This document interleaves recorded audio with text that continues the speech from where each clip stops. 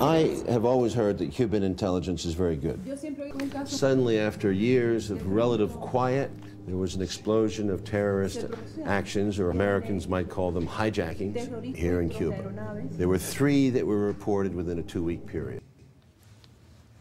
There was a quick uh, seven day trial in which they were found guilty, and I gather that they were shot, all three of them were shot on the eighth day.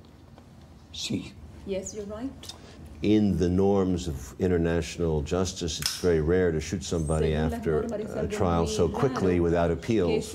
Es cierto cuando se trata de una situación virtual de guerra. When I heard the news from that Mr. Castro had shot, Yo no ejecuté a nadie, estoy en desacuerdo con la terminología.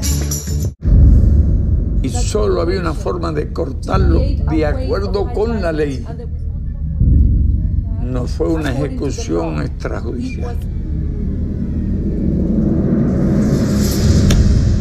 Y si se volviera a dar una situación semejante, haría exactamente igual.